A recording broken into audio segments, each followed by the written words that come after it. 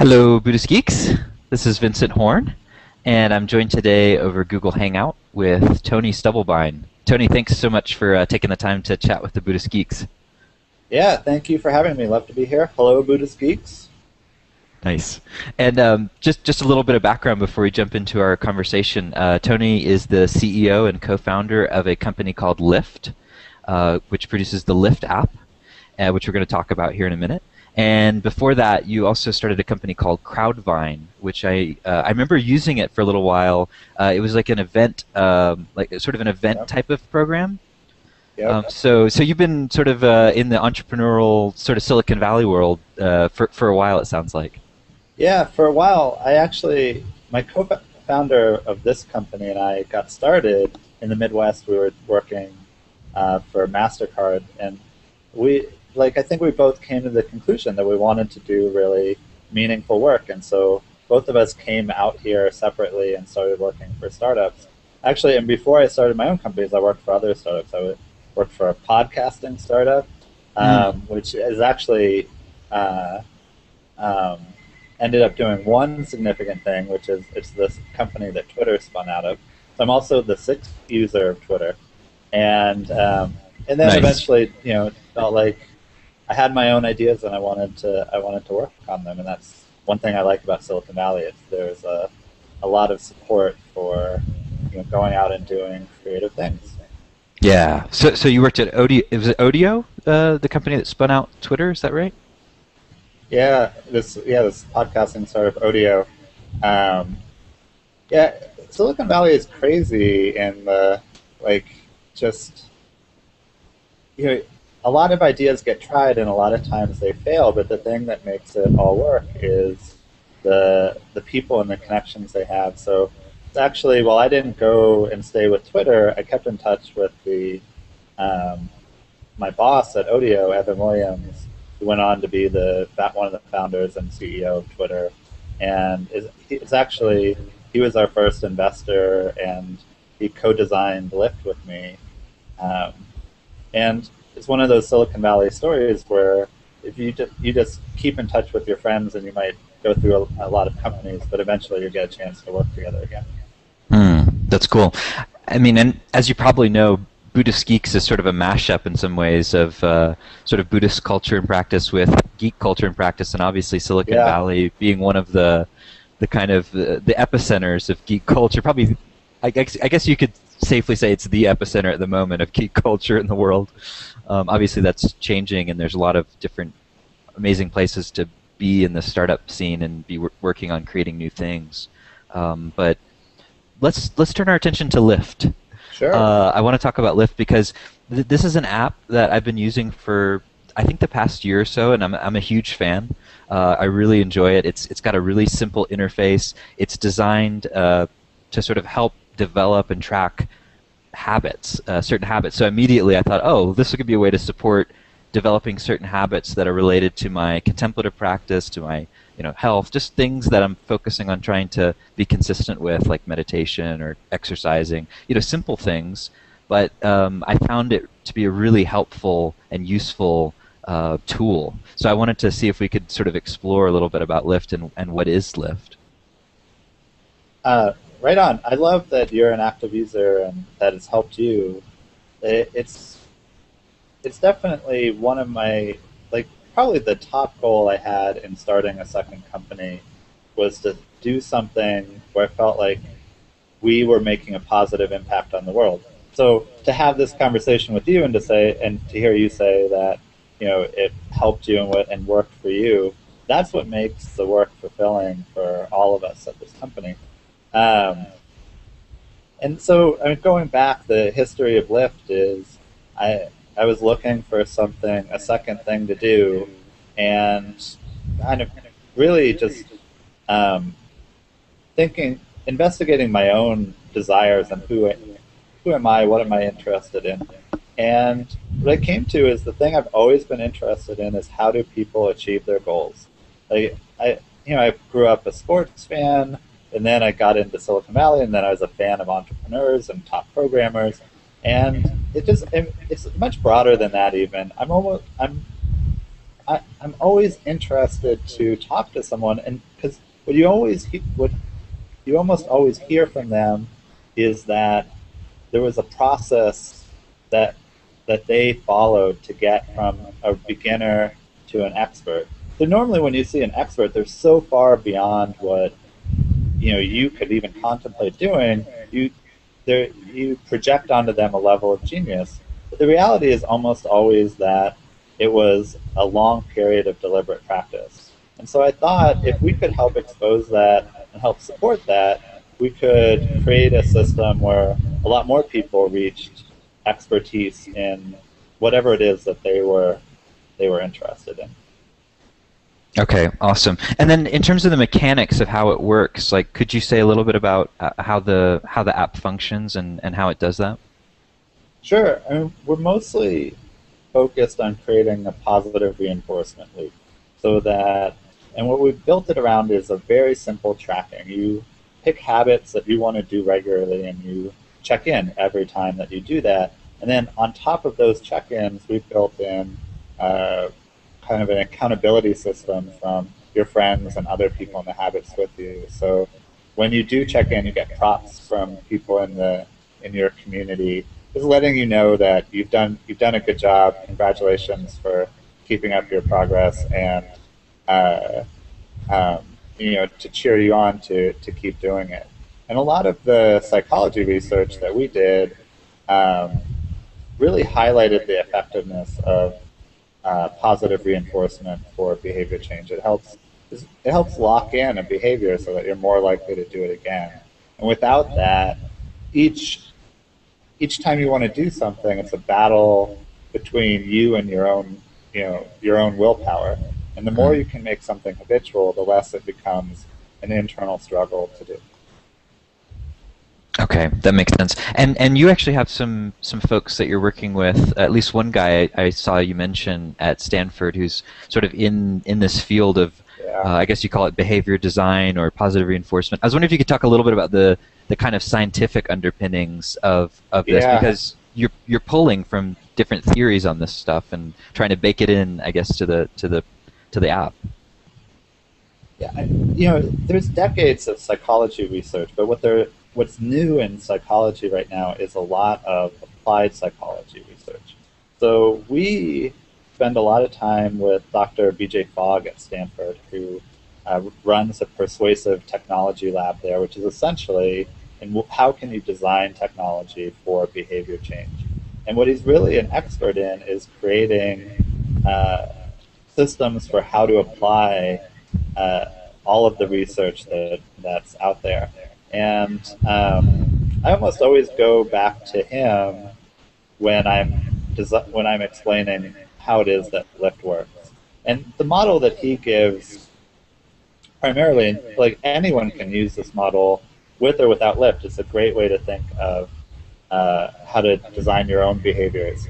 He calls it BMAT, and it's essentially in order to get a behavior out of yourself or out of someone else, you need three things to come together the person needs to be motivated, the person needs to have the ability, and the per it needs to the person needs to be triggered. I mean, essentially, you're not going to do something unless it occurs to you to do it, and even then, you're only going to do it if you have the ability to do it and you want to do it. So, you know, like what what I love about that model is now when I'm looking at a challenge like, oh, I want to exercise every day, I've got I can just think, well, do I have those three things? You know, does do do I am I a member of a gym? Uh, am I am I uh, healthy and rested? You know, so that I'm not ditching my gym visit because I'm too tired. And then, you know, do I have t- time booked in my calendar so that it actually occurs to me to, to go do there, to go, you know, to go work out? And almost anyone can think about their own goals in terms of uh, those three things. Uh, you know, certainly meditation, right? It's like, what is the thing that's going to prompt you to meditate in the day? Um, you know, why do you want to meditate? Be clear on that so that you have motiv- motivation for it. And then, you know, I think we'll get into this a little later, but we did a bunch of research into successful meditators and what we found was that the ones who went on to be successful started with very short meditation. And so th- to me, that goes back to ability. Like when you're a beginning, when you're beginning, it's hard. You, not just hard; it's impossible to sit down for an hour and suddenly have a clear mind. Right? like nobody has that experience.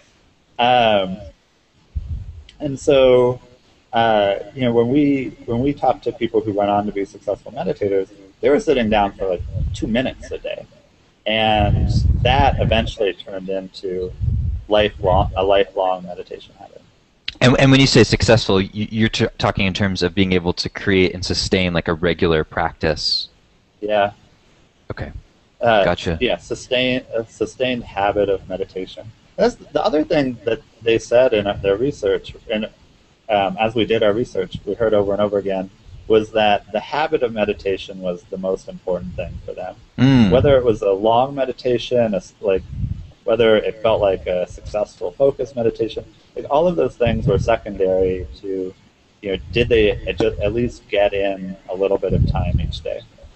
That's cool. And and how you did the research? I, I remember uh, this last March, you had this sort of month-long meditation challenge, which was um, which was great because it seems like a good opportunity to kind of create a container. Okay, for this period of time, we're going to work on developing this Yeah. habit. You know, that nothing nothing particularly new about that. But what I thought was cool is being able to use the app, and then also the kind of data that you guys were collecting and sharing back with the Lift community. Um, some of what you've already described. There was one piece in particular I thought was cool, which was the uh, um, the metric measuring the likelihood of continuing uh, daily uh, practice or daily meditation. Like how you know how many days does it take to the point where it's highly likely that the ver- the next day you're going to meditate, like 90 plus percent likelihood that you're going to continue to meditate. Could you say a little bit about what you guys found with that that particular metric and and why you were looking at that? Um, yeah, it um, it was. Uh, I mean, I think it was just fascinating to have have access to people's data there, and you know, when we when we look at behavior design, we look at the what are the barriers. The barriers is almost always some level of doubt, and so you know every every additional day is hard uh, when you're creating a new habit, and you wonder like, will it ever get easier? And so, um, and so when you're on day three and day three is still hard, you might think, oh, it's going to be a hundred days this hard. I could never make it.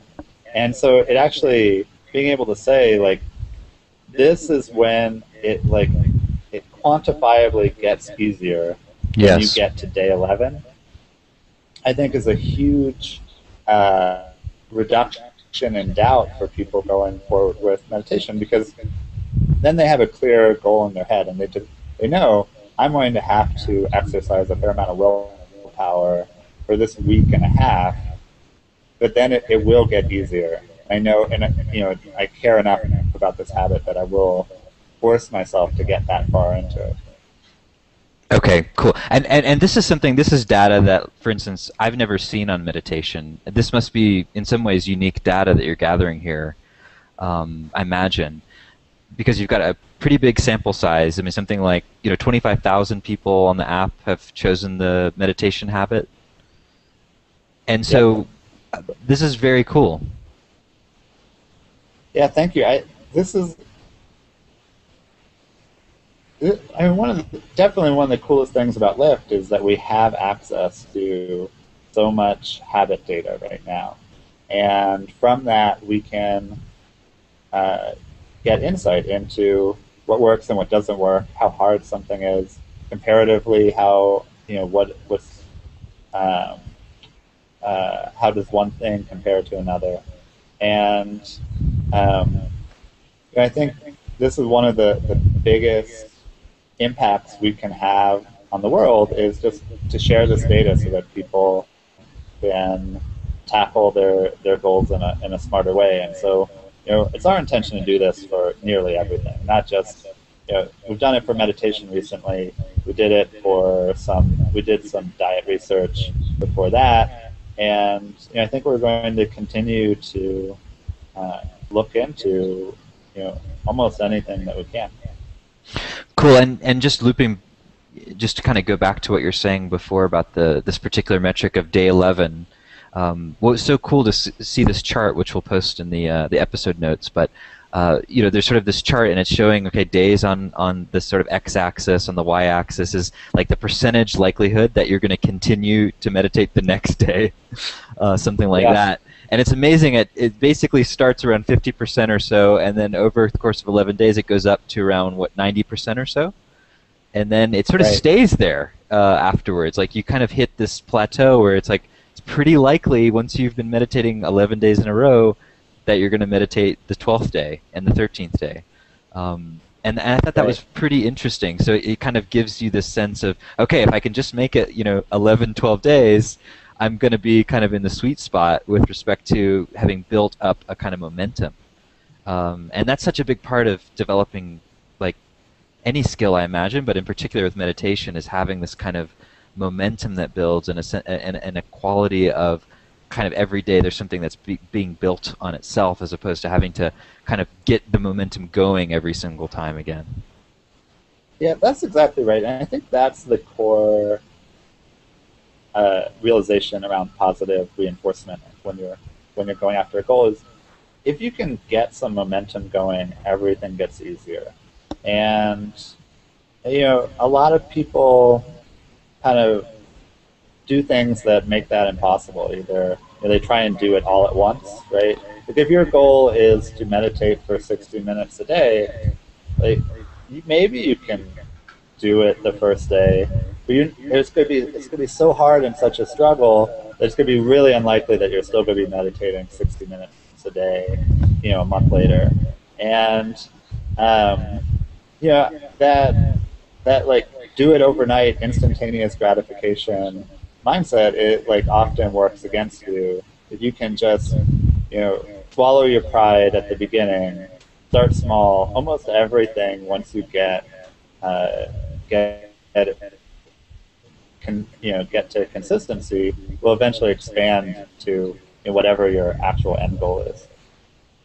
Okay, cool. That's really cool. And you know, there's this there's this whole movement that many of the geeks listening will, will know about, which is the kind of quantified self movement or the QS movement. And these are basically folks who got really geeky about tracking right. their behavior and um, wanting to, to sort of quantify it or make it uh, something they could actually see, like to actually make it into like a number that they can look at. Okay, this this sort of represents my behavior, like the Nike Fuel Band does, or um, like in some ways like Lift does. And I was wondering if you could talk about kind of how quantified self fits into what you guys are doing, and is that something that is on your radar, something that you've been learning from? Just kind of the relationship there between between the two. Yeah, quantified self is this amazing movement, um, and I remember the day that we launched the Lyft app. I actually spoke at our local quantified self meetup, and the pitch I made to them was that I thought consistency data was the fundamental data type for quantified self because if you think about what a lot of people track in quantified self, it's just not generalizable. Like, I mean, most commonly people track steps. There's all sorts, you know, people wear Fitbits or Nike Fuels or uh, Jawbone Ups, and you know, at the end of the day, they track how many steps that they take in. But that doesn't help me when I go to the gym and I swim. Uh, it doesn't help me when I lift weights, right? Like that particular data type, number of steps taken, doesn't translate into all of the other things I want to track. The one thing that you can track that translates to almost any goal or behavior is consistency. And so while it's not it's not a deep dive into quantifying a behavior, it is it has this incredible breadth because it works for uh, so many things. It works for you know, in Lift. I think people have created something like 800,000 different habits and a lot of them are things you'd expect run, go to the gym, floss, meditate. Um, but a lot of them are really non standard, like tell my wife I love her, um, don't get a traffic ticket. You know, like this incredible breadth that, you know, uh, yeah, I like the. I, I'm happy that when this person gets a streak and don't get a traffic ticket. The, the, uh, but and so that's where like all of those things are trackable or quantifiable in terms of consistency. And you know, clearly, the uh, Nike Fuel Band isn't going to do anything for you know for your relationships. Did you tell your wife that you loved her? Did you spend time with your kids? Um, did you give someone a compliment? Like all of those uh, very important behavior changes that make a big difference to your overall happiness. Uh, those are great just to think in terms of, well, can I do this every day? Can I make this a consistent part of my life? Mm.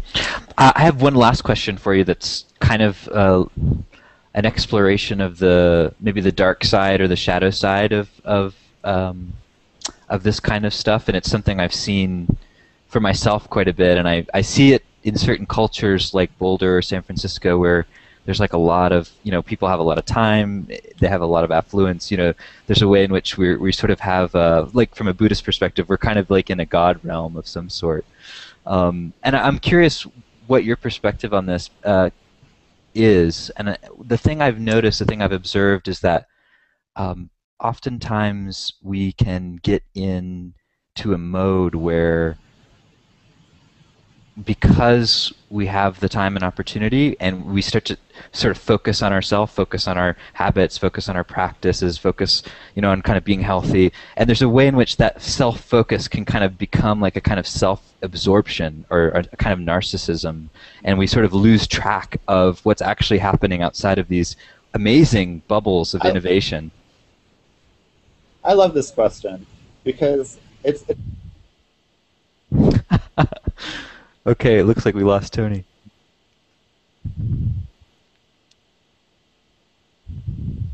Uh, I think I cut, I cut out on you guys for a go, Go ahead, go ahead. You're telling me how much you love but the I'm question. Back. But I love this question because it's such a human question, right? It's not. I don't think people are narcissistic because that they're a quantified self. They're narcissistic because they're human right? And the person who really figured this out first and, and articulated it the best was Maslow and his hierarchy of needs. And so when I look at people's goals, actually, we see a pretty clear like uh, hierarchy of ambition. Like the first thing that they work on is, you know, they like they feel bad about being overweight, so they try and lose some weight, and they try and exercise more. And then eventually, they start working on enjoying their life more. So like read more is a popular habit on Lift. And then once they feel like they have their life taken care of, you'll see them start to work on their own relationships. So you know, spend time with my kids or uh, tell my wife I love her. And then, and then only at that point, as they're becoming an actualized person at the very peak of the of the triangle, they start to reach out and do things for the outside world. And one of my favorite recent Lift experiences was uh, a group came through wanting to do acts of good, uh, and they had tied it to. Um, uh, they like actually found a sponsor to match acts of good with a donation to uh, uh, a U.S. food bank. And so it actually, and so their their concept of an act of good was very simple. Like it could be hold the door open for someone, smile at a stranger, uh, let someone merge in front of you in traffic. But that like creates a mindset change in the people doing it, and they start to think differently about their role in the world. And what was cool is on top of all of that, they found a donor who would would donate, basically match every act of good with a dollar donation to this charity. And like the whole thing translated to like if I hold the door open for someone, eight families would get fed. And like it was like it was such a powerful um, and generous uh, concept. Like I love that, but most people they kind of need to work their way up to it. And so I think quantum. I think what's really important is to serve those base needs, which you might think they might look narcissistic at first, but those are required before someone feels, you know, confident and comfortable enough with themselves they start reaching out and doing good for the for for other people. Mm, cool. Um, you, you mentioned at the beginning that you may have had some questions for me before we wrap up. I, I wanted to give you an opportunity to turn the tables on me if you want. If I'm not, doing um, it. it's fine. Here it comes. okay, hit me. How can we get more people meditating? It's like meditation completely changed my life. I was Hmm. so like, you know, so just caught up in multitasking. I'd wake up and my phone, you know, I'd check my email right away, and I'd just be immediately into like a, a thousand different ideas, and never really be present for any of them. And meditation trained me to step back and be in the moment and like I enjoy life more. I'm better at my job, and I you know I feel like the people around me are probably enjoy interacting with me a lot more too. I mean, it's so Mm. powerful. Even so, yeah. So what's your take on this? Uh, I'm curious. What? Um, how did you get into meditation? Like, what was the doorway? Was it a particular type of practice, or how did you get into meditation? You know, I I had two entries. One didn't work, and then the other did. And so I had a friend who who just told me he meditates by counting. And so I like the simplicity of it, and I think he counts to like five thousand. A lot of time to be counting. I was more like I could handle maybe two hundred. And but I like the simplicity. It travels well. You can do it anywhere. Um, but it was in some ways it, it was just too much of a struggle. And then we saw in the Lift community, this one app in particular, Headspace, kept getting mentioned over and over again in the Lift meditation community. And so uh, just a couple of us decided to give it a try. What I loved about it is it's a guided meditation. So suddenly all the pressure is off me. Do what this person says. And one of the things the person says often is, your mind may have wandered. Totally normal. Let's bring it back to your breath now. And so, like, like all of that struggle that I was feeling, I suddenly felt like it was normal. And uh, you know, all I had to do was turn on this app for a couple of minutes. And I, I thought, you know, it also, it did, it did a good job of training uh, and talking about how you can use your new mindfulness skill uh, in everyday life. And so I had a couple of good exam, good experiences where either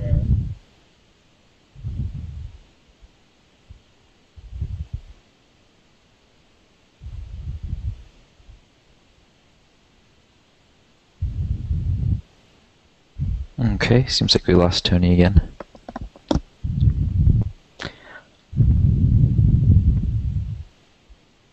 had a couple of good uh, had a couple of good experiences where you know I was meeting a new person and thinking about the meeting that I had afterwards and and just realizing oh wait a second I have a skill for this.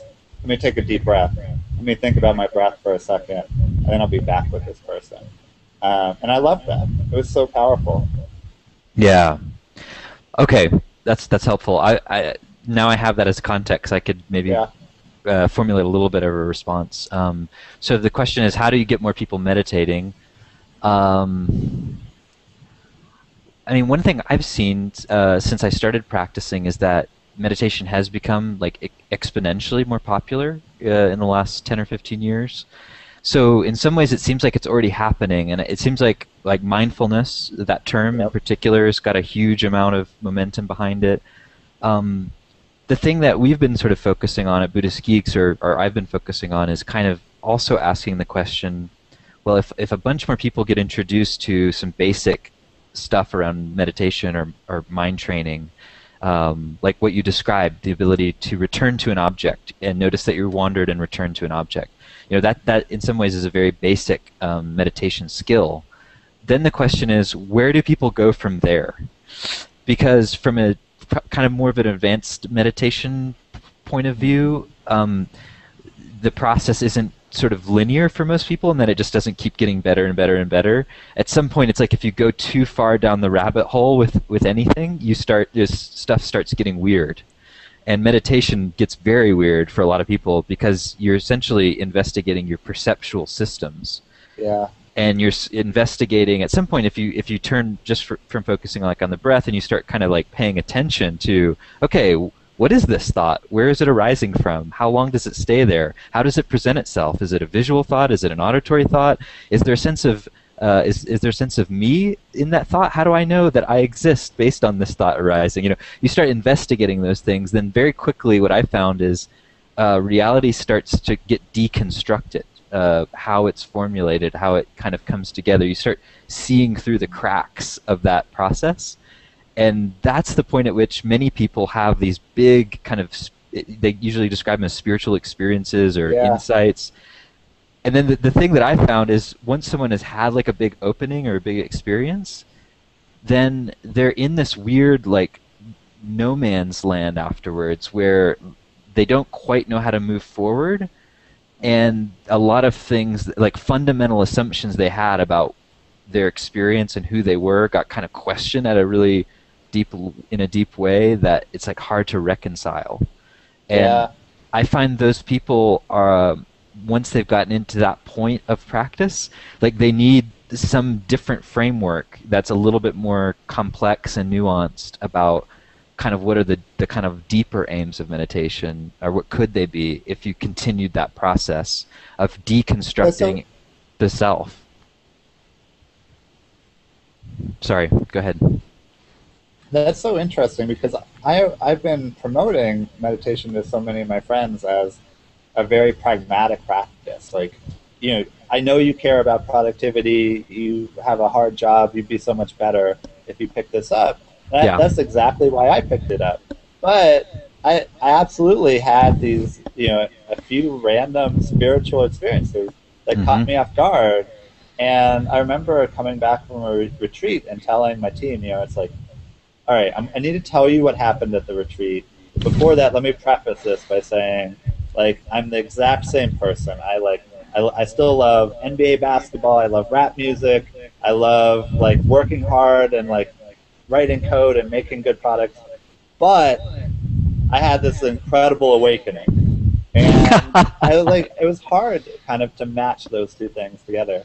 And also, I felt a little bit like it would be hard for someone else to understand, you know, that uh, that that might happen because, um, you know, people have their own kind of religious and spiritual systems in place, and um, you know, that's a often a tricky communication area. Cool, cool. That's interesting. So, so one thing I would think is there's something good about coordinating the, you know, if there's a funnel, if people find themselves entering meditation and then they go deeper, not everyone will. I mean, probably most people won't. But if they do end up having like these big experiences and they're and they're trying to like reconcile that and they're trying to figure out, okay, where do I go from here? Like I did, you know, I, I listened to the Headspace app or to another app. I got some Yeah. basic instructions, but like, how do I move forward? um, and I think there are a lot of really amazing people out there that know that territory fairly well of the mind and and can be of service, you know, beyond that point. I think in addition to scaling up the number of people who get introduced, it's useful to scale up and connect those folks who can sort of support people in going deeper if that's the route they, they end up taking. So that that's kind of how I've been thinking about that question. Right. Yeah. That's a great framework. cool. So do do we have a listener participation now? Uh, yeah, we, we you have time. Uh, I want to make sure you can get off for your next uh, appointment, but we have maybe an, time for one question if anyone wants to uh, jump in from the Buddhist Geeks community and ask a question of Tony. Um, what we'll do is just put a little link on the event page, uh, and you can click it, and then you'll come into the Hangout, and we'll unmute you, and you can ask your question.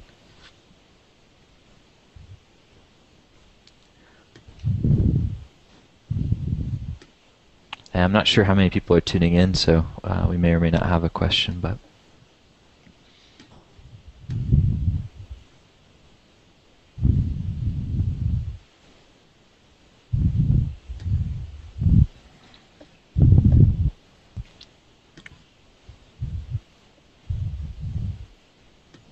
And, and by the way, like just going back to your last question, I think I think that's a really, I think it's really important for, diff, you know, people that are coming at these things from different angles to be talking to each other. That seems like one of the big gaps that that I've seen so far in in the popular meditation space is that like having conversations with people that have been doing it for a long time. I think part of the reason is because people have been doing it for a long time. Get they tend to get really like rigid and dogmatic about the way they do things. So it's kind of tough. I, I think this is one of the things I'm excited about our role at Lift is that we're intentionally not the expert. And so we don't have to get dogmatic and we can play more of a curation role, help help connect people. Because we want to help support any advice and we're not prescriptive about that. So I, I think I see that in the meditation community on Lift even that people are trading, you know, trading tips. Like I just recommended uh, the Headspace app, but I think a lot of people find that when you get further into the Headspace system, it's too much work. You know, suddenly they're asking you to meditate for 20 minutes a day, and maybe you only have two minutes. And so I'm seeing more people do a combination of Headspace and this other app, Calm.com, which has like a nice two-minute uh, meditation. And so it's like either you have time for 20 minutes of Headspace, or, or if you don't, well, here's this other thing that can fill in the gap. Like, I like that that trading. I hope we get more experts who, like like you say, can guide you through the the the trickier, more complicated parts once you get further in. Yeah, and for people that you know they want to go from a few minutes a day to like a half hour to two hours a day, you know that's like just a different level of practice. You know, yeah, like like anything. For sure. Cool, cool. Well, uh, Tony, thanks uh, again for taking the time to, to, to join us over Google Hangout and to talk a bit about Lift. And uh, for everyone who's got an iPhone and access to the web, I would recommend checking it out. Um, I'm on there. Uh, if you want to see how uh, how infrequently I meditate, you're welcome to follow me. and, no, that's great. But so you actually you have a group on Lift, right? And I feel like we should it, is it mindfulness hacks? Uh, mind um, hacking. Mind hacking. Yes. We, sh- um, we should make sure to give people access to that because Lift is available. I mean, for the web and for um, for iPhone, but that group in particular, I think, would be a good place for you know listeners of Buddhist Geeks to you know start and Lift with a, a community of people that kind of have the same reference points and framework of thinking that, that as each other.